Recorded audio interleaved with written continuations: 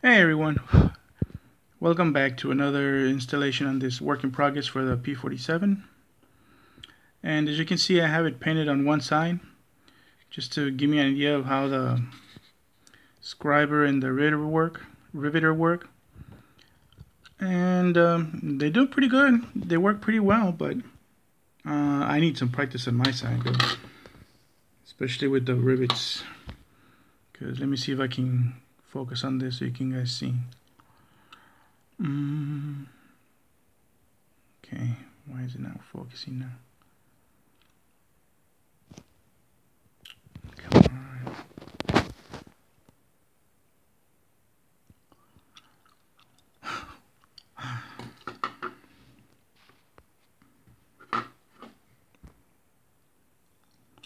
on. soon as I hit the record button, then it has issues. Come on, focus.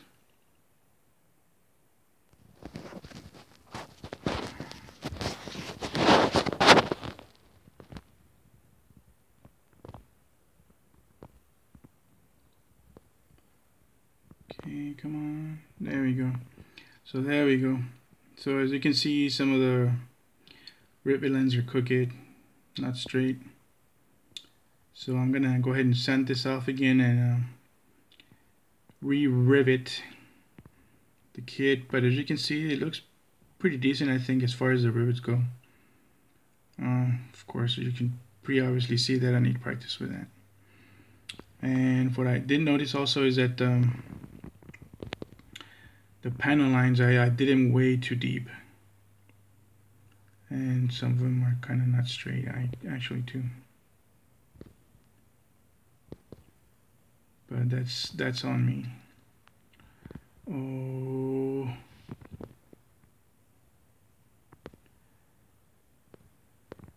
damn it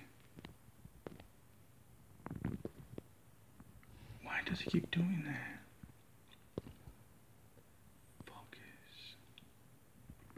Alright, so let me move the aircraft slow. So yeah, some of the lines are not completely straight. So I might have to go and rescribe those two. Uh, the panels the that I, that I did with the aluminum look alright. Well, I gotta work on that one really bad. That line there, you can see all the scratches that I went out of the actual panel line. So I need to work on that too. But that's okay, you know. Practice makes perfect, right? But anyways, though, yeah, they look alright, so I don't know. I don't know if I'll keep those or just take them off and just scribe them on there. I don't know. I'll decide later on. but yeah, that's pretty much what it looks like which I'm happy, but like I said, I need more practice. You can see the other side, there's just nothing there. Just um, raised ones. So, yeah. I did paint the nose cone. This one came out pretty good. Of course, there's nothing scribed on there. Those were already there. So I'm going to see if I can at least match these panel lines and not put so much pressure on the scriber. But yeah, that's pretty much it. I mean, I haven't done anything else really. I do like the color though, it looks really good. So, yeah, just a small update. Um, more than likely, I think uh, I'm gonna be working this also on the side. Um, I'm getting itch to build another Gundam, so might work on this one. But we'll see. Don't really want to start more projects till I finish finish at least some of the other kits I'm working on. Alright, see you next time guys. Hey everybody, what's up? So here's a second part I guess you could say of the this video since I'm adding this one to the other video I made but rather than putting that one apart I just gonna join this one to that part So if that makes any sense. So anyway, so uh, here is so far what I've done to the kit. I uh, went ahead and uh, took off the paint and uh, sanded it smooth again and re-riveted, re-riveted the the kit as the same the same goes for uh, rescribing some of the panel lines and fixing them up from what I showed you before as some of the lines were pretty messed up.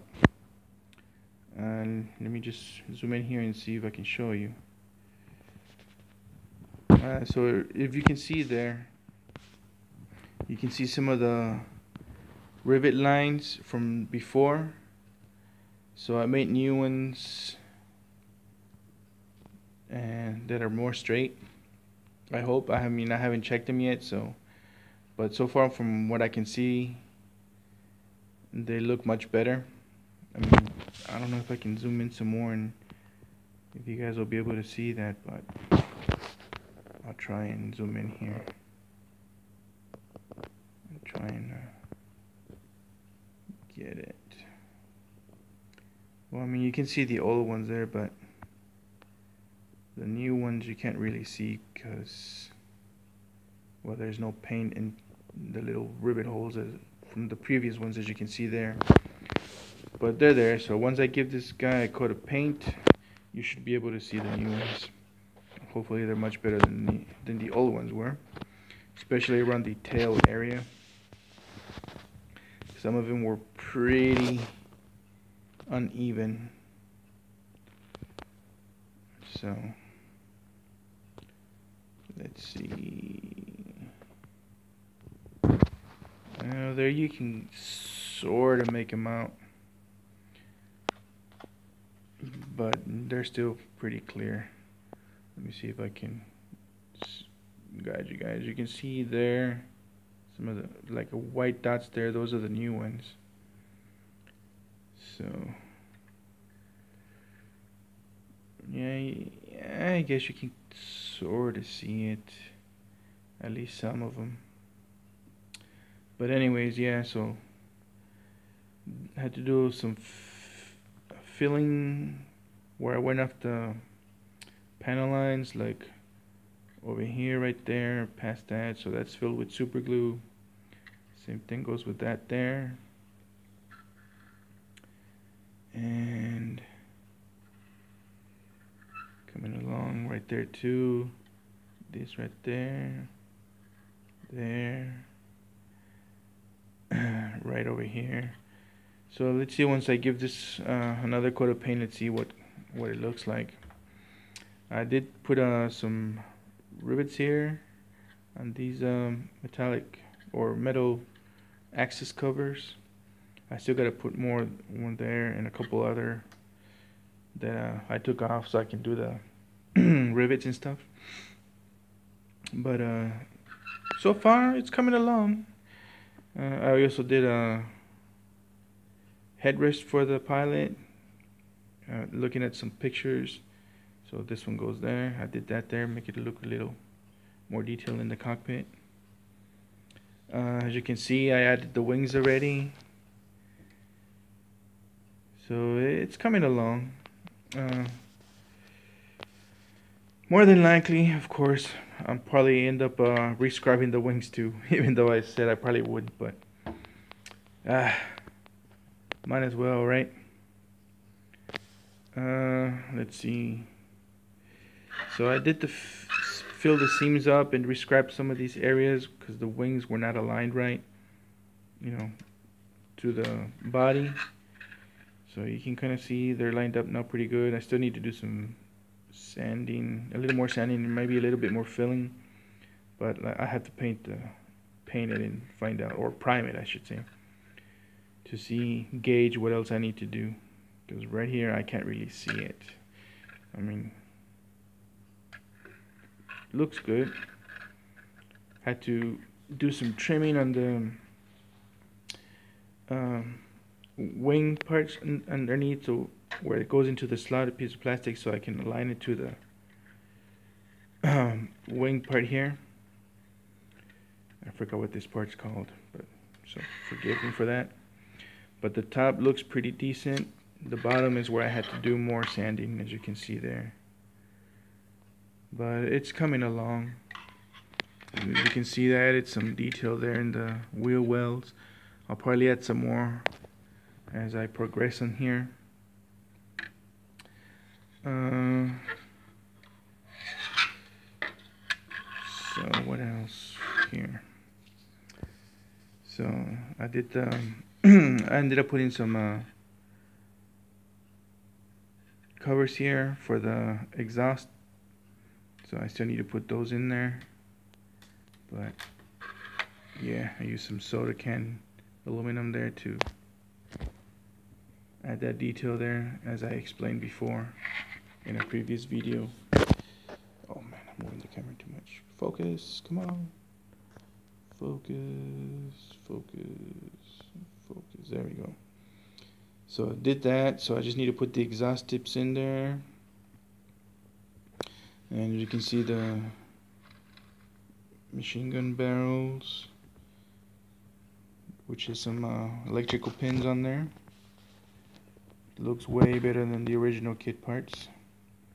I think I still have them, so I'll show you comparison.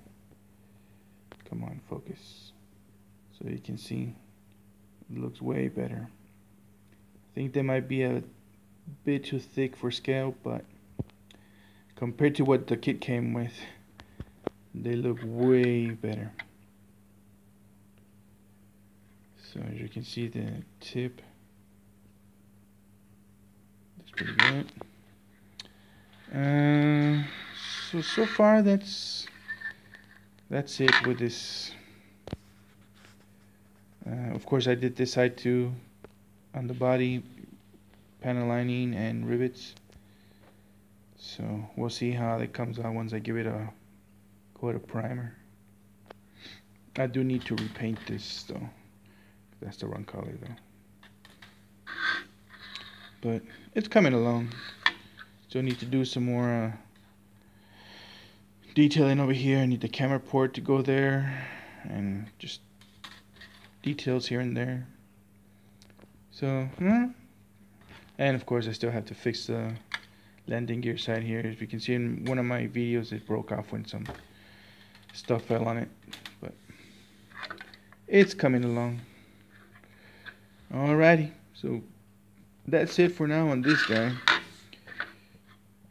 Hopefully when I post another video with this kit I'll have a lot more done to show you guys. Alright see you next time